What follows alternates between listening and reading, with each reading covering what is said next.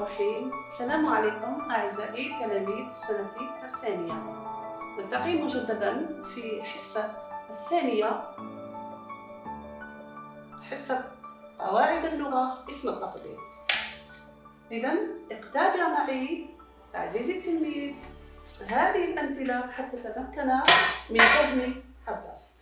هذا التمرين أسهل من غيره. محمد أخلص عملا.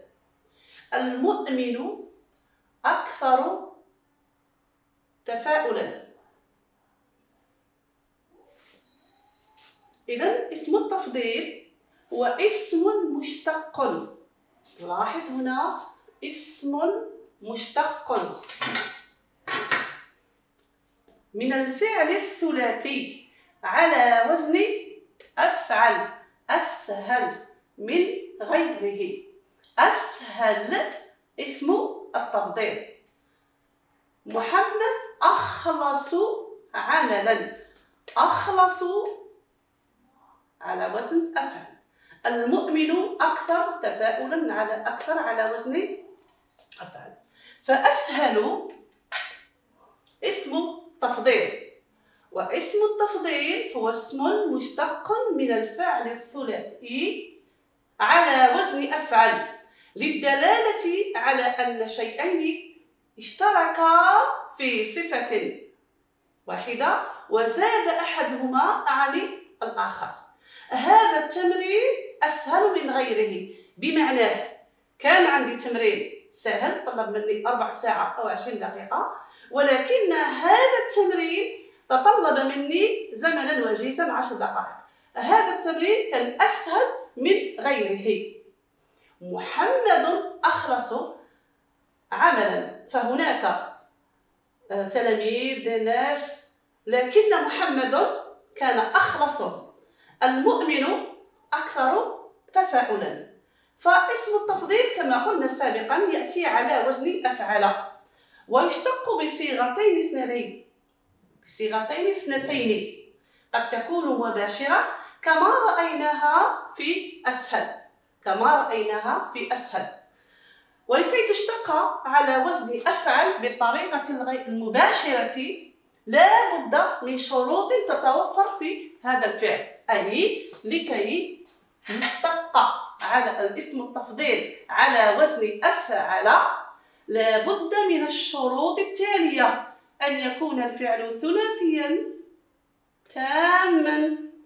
متصرفا مبنيا للمعلوم مثبتا لا يدل على لون ولا يدل على عيب. انتبه عزيز التلميذ إلى أسهل سنطبق عليه الشروط التالية. أسهل. فعل ثلاثي أصلها سهل سهل تاما أي لا ينتمي إلى الأفعال الناقصة. وعرفت عزيز التلميذ أفعال ناقصة آه، مثل كان وأخواتها أصبح أمسى أفعال مقاربة إلى آخره متصرفا فلنحاول أن نصرف فعله. سهل التمرين سهلت الأمور إلى آخره. مبنيا للمعلوم. فعل سهل سهل الأمر. فعل مبني للمعلوم وليس وليس سهل. لا يدل على لون كما ترى ولا يدل على عيب. إذا لابد من اسم التفضيل. إذا أردنا أن نشتقه على وزن أفعال يخضع للشروط التالية. هيا نأخذ عينة من الأفعال. صعب ف اسم التفضيل الصعب ترى هل يخطأ يخضع هذا الاشتقاق أصل أو فعله ياخذ المقاييس التالية سنة أصل فعله صعب. ثلاثي.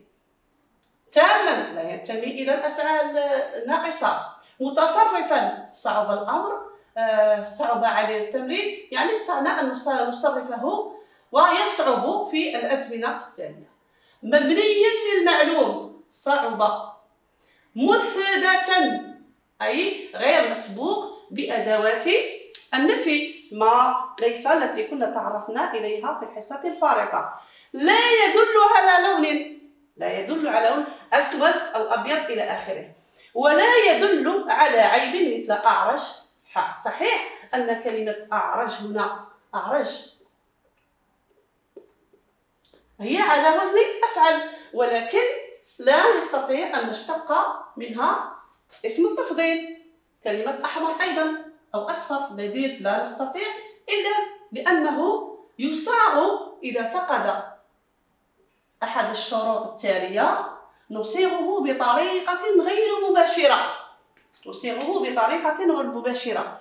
الطريقة المتمثلة في ذكر مصدر الفعل منصوبا على التمييز. ما معنى هذا الكلام؟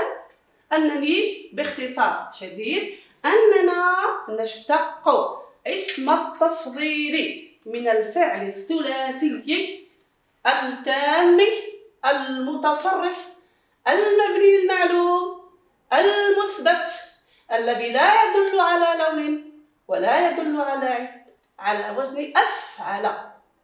أفعل. إذا ناخذ مثال آخر. كثر كثر فتأتي على وزن أكثر أو اسم تفضيل أكثر. أكثر فعله كثر ثلاثيا. تاما. متصرفا. مبنيا للمعلوم. مثبتا. لا يدل على لون ولا على عيب. وهكذا دواليك جملة نأخذ على سبيل المثال. أجمل اسم التفضيل أجمل. أجمل. على وزن أفعل. جاءت أجمل على وزن أفعل. لماذا جاءت على وزن أفعل؟ لأنها تخضع للمقاييس التالية. إن أصل فعله ثلاثي. جمولة. جمولة. وقلنا سابقا. حتى نكرر ونستوعب جيدا أن اسم التفضيل يشتق على وزن أفعل من الفعل الثلاثي آه، يشتق على وزن أفعل من الفعل الثلاثي. الذي أصله جملة تاما أي ليس ناقصا لا كان ولا صار ولا أخواتها. متصرفا قابل للتصرف مع جميع الضمائر وفي الأزمنة. مبنيا للمعلوم جملة مثبتا مثبتا نستطيع أن نصرفه آه عفوا مثبتا غير كامل عفوا مثبتا غير منفي مثبتا غير منفي. وكنا أعزائنا التلاميذ تعرضنا إلى أدوات النفي التي آه كالتالي ليس لا ما وإلى آخره. ثم كلمة أجمل لا يدل على لون كما لا يدل على عيب. ترى لو كيف أشتق اسم التفضيل من فعل فقد أحد الشروط التالية.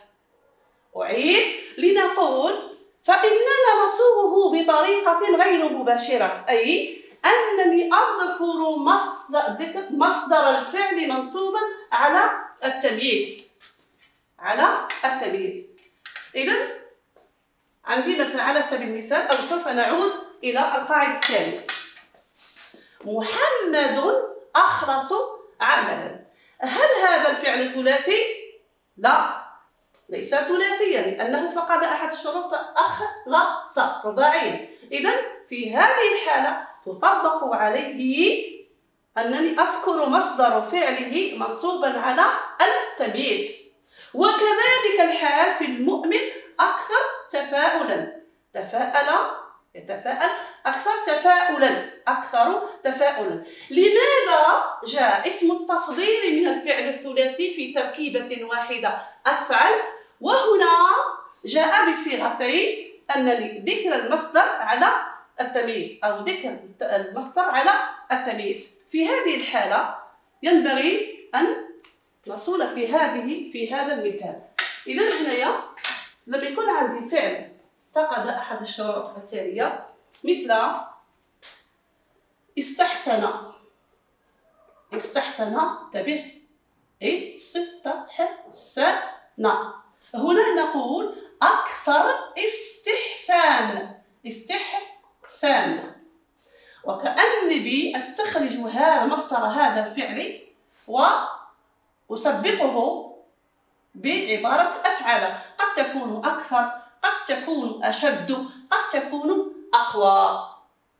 مثلا انتظر. انتظر. فكان أكثر انتظار. ها هي الأفعال. الفعل. أخذنا عين استحسن.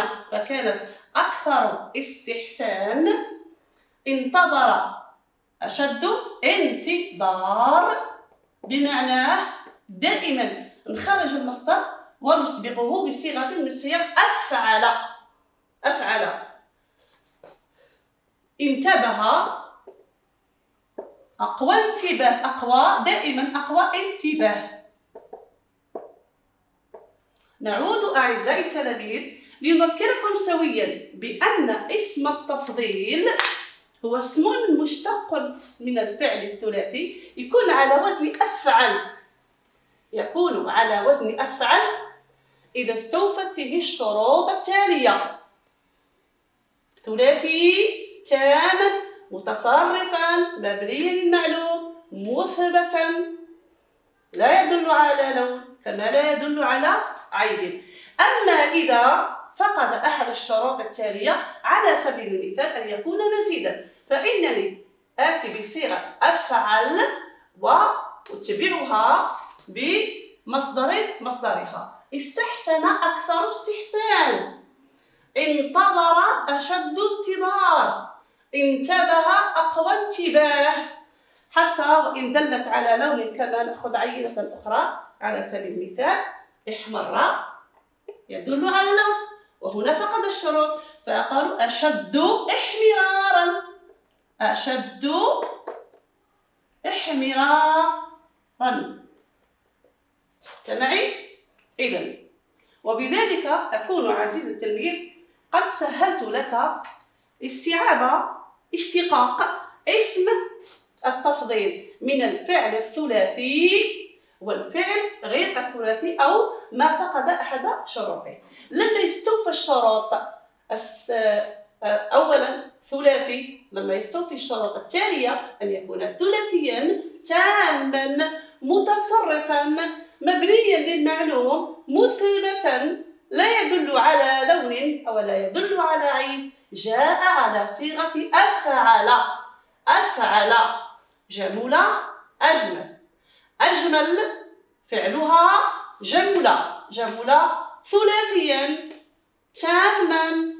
متصرفا مبنيا للمعلوم مثبتا لا يدل على لون أو عيب. أنا أقصد أو إنني أتحدث عن فعل ذلك جاء على وزن أفعل. وجاء اسم التفضيل هنا على وزن أصعب لأن أصل فعله أصل فعله ثلاثيا ومستوفيا فيه جميع الشروط أي تاما ناقص. متصرفا. يقبل التصرف مع جميع الضمائر وفي الأزمنة. مبنيا للمعلوم فنقول صعوبة. مثبتا. غير منفي. غير مسبق. بأداة نفي لا يدل على لون كما لا يدل على عيب. أما إذا فقد أحد الشروط التالية جئنا بصيغة أفعل زائد مصدر الفعل. انتبه إلى استحسن. فكانت أكثر استحسانا. استحسانا. انتظر أشد انتظارا. انتبه أقوى انتباها. احمر شد احمرارا. أما في الأفعال التي قلنا لا تتصرف مثل مات فهل تقول مات أم مثل نوتها واحدة. عرج وأعرج لا فإنها تدل عليه. لذلك لما تفقد الشروط التالية فإنني أستخلص وأشتق اسم التفضيل بطريقة غير مباشرة. الطريقة المباشرة المتمثلة في صيغة أفعل زائد مصدر الفعل. وبعد ذلك عزيزي التلميذ حاول أو حلل التمرين س واحد صفحة 54 من كتابك المقرر. من كتاب المقرر صفحة 54 حل التمرين وتأكد حتى لتستوعب أكثر وأكثر. إذا حل سعيد